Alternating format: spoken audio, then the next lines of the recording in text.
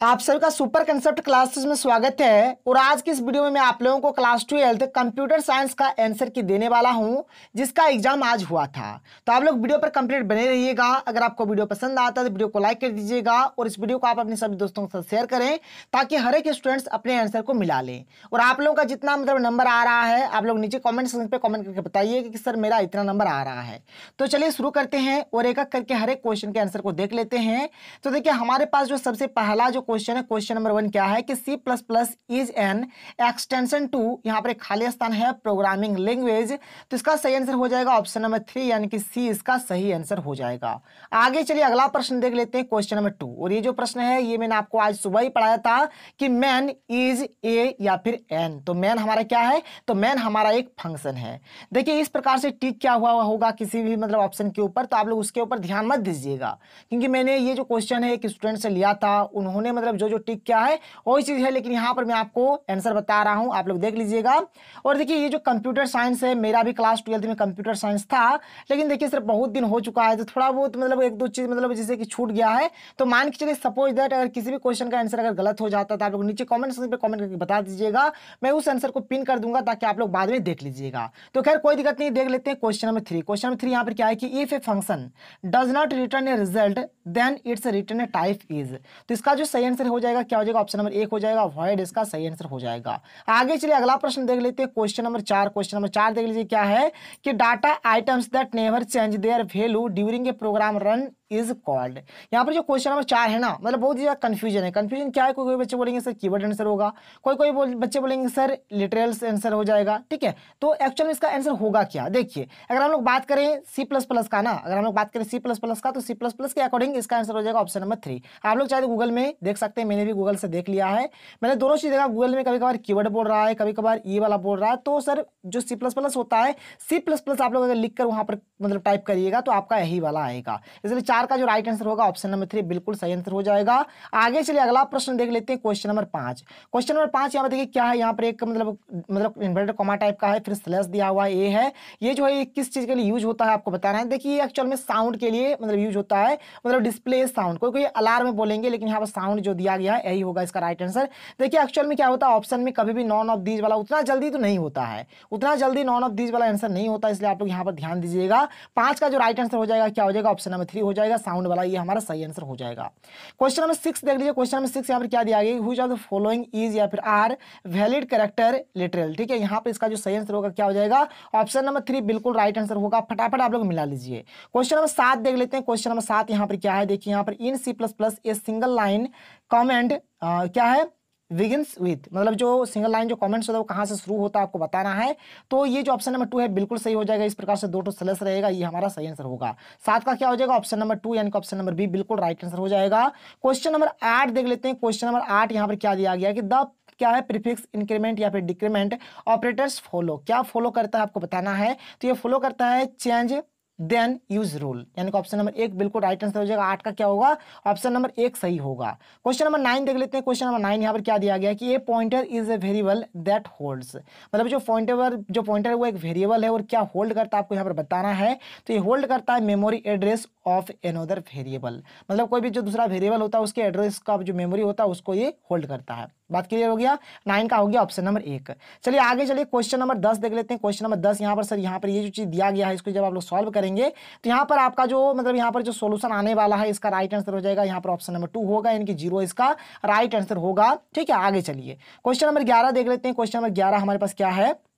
देख लीजिए। Question number ग्यारह में बोल रहा है कि यहाँ पर कौन वाला हमारा लॉजिकल ऑपरेटर्स होगा?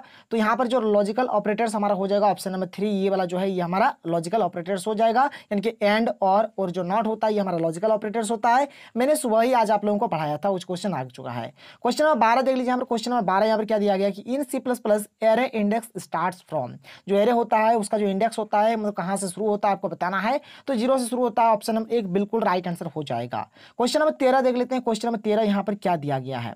तो क्वेश्चन नंबर तेरह हम लोग यहाँ पर देख सकते हैं। क्वेश्चन नंबर तेरह देख लीजिए, यहाँ पर क्या दिया गया है? तो देखिए क्वेश्चन नंबर थर्टीन क्या है कि what is the output of the following code fragment यहाँ पर ये जो दिया गया है, इसका आउटपुट क्या होगा, हमें यहाँ पर बताना है।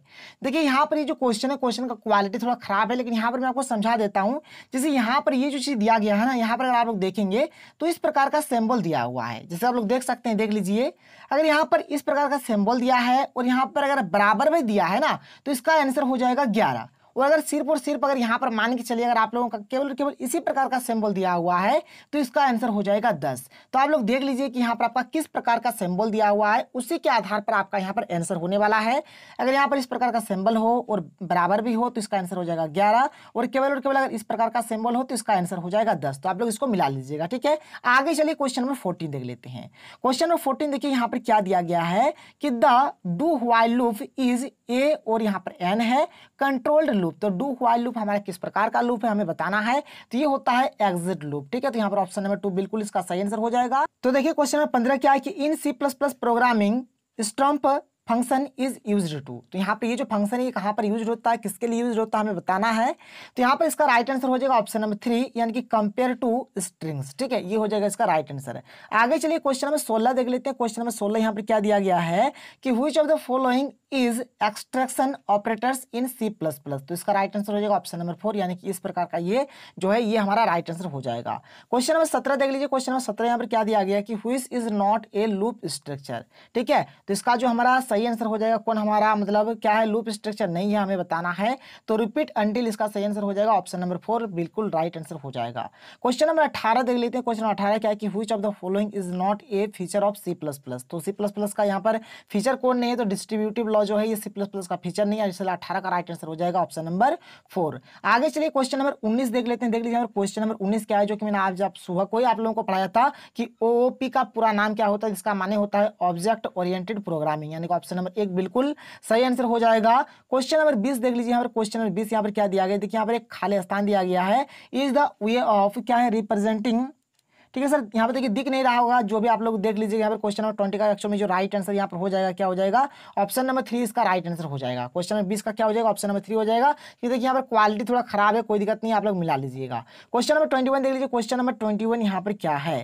क्वेश्चन नंबर ट्वेंटी है कि क्लास रिप्रेजेंट्स क्लास क्या रिप्रेजेंट करता है, यहाँ पर आपको बताना है। तो क्लास हमारा रिप्रेजेंट करता है, एक ग्रुप ऑफ़ सिमिलर ऑब्जेक्ट्स को रिप्रेजेंट करता है। तो ट्वेंटी का राइट आंसर हो जाएगा ऑप्शन नंबर एक। क्वेश्चन नंबर बाईस देख लेते हैं क्वेश्चन नंबर बाईस यहाँ पर दिया गया है, देख लीजिए क्या है। इन क्या है? Encapsulation is a way to implement, ठीक है? तो यहाँ पर इसका एक्चुअल में जो राइट आंसर हो जाएगा, क्या हो जाएगा? ऑप्शन नंबर थ्री हो जाएगा डाटा एब्स्ट्रक्शन इसका सही आंसर हो जाएगा। बाईस का क्या हो जाएगा? ऑप्शन नंबर थ्री इसका सही आंसर हो जाएगा। क्वेश्चन नंबर तेईस देख लेते हैं क्वेश्चन नंबर तेईस यहाँ पर क्या दिया गया है? तो क्वेश्चन नंबर तेईस यहाँ पर दिया गया है कि which header file belongs to the function क्या है?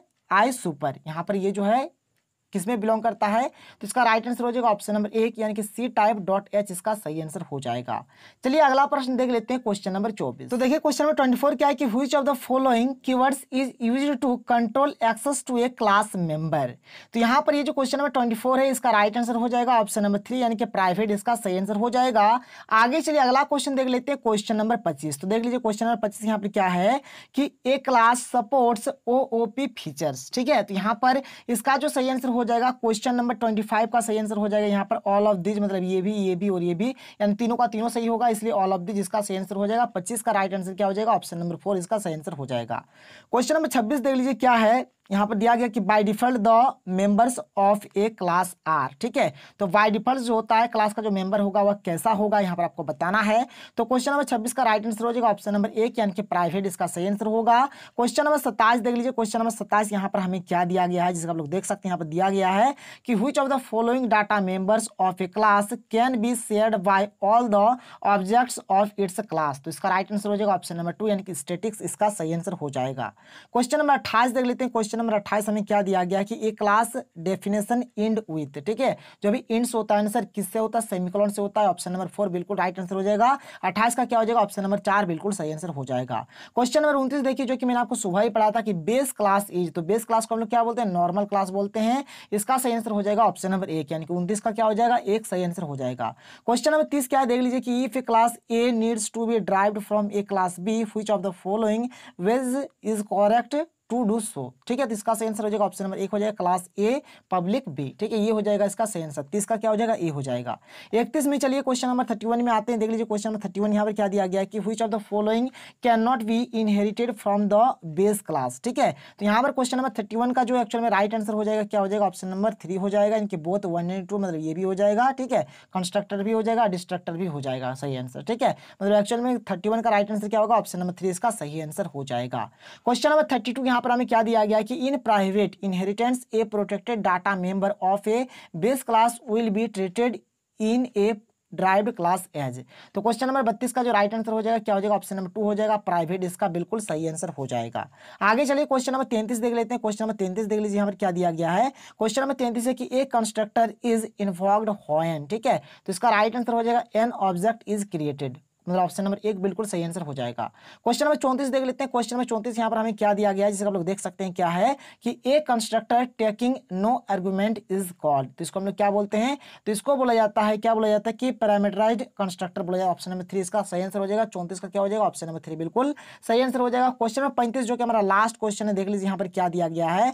जैसे आप लोग देख सकते हैं, यहाँ पर दिया गया कि a constructor can have which of the following क्या है? करेक्टरिस्टिक्स ठीक है तो यहाँ पर ऑप्शन ए बी और सी यानी कि एक, दो और तीन मतलब सबके सब सही हो जाएगा, इसलिए इसका राइट आंसर एक्चुअल में हो जाएगा ऑप्शन नंबर फोर यानी कि ऑल ऑफ़ दिज जिसका सही आंसर हो जाएगा। तो यहाँ पर मैंने आपको हर एक क्वेश्चन को बताया, आपका कितना नंबर आ रहा है, आप लोग नीचे कॉमेंट सेक्शन पर कॉमेंट करके बताइए। तो चलिए मिलते हैं अगले वीडियो में। थैंक यू जय हिंद